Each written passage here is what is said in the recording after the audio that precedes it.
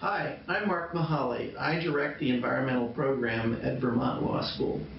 We have just created what we call our first annual Top 10 Environmental Watch List. These are issues that our environmental faculty have determined are the most important regulatory and judicial decisions for 2010.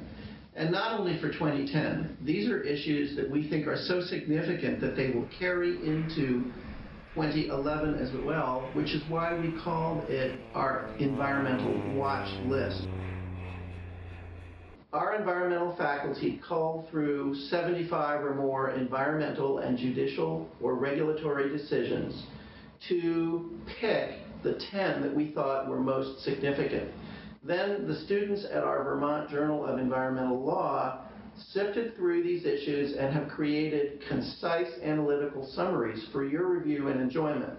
And we would like you not only to look at this, these issues on our website and think about them, but to respond to our selection over the coming months and tell us what you think. And our professors and our students will reply to your comments.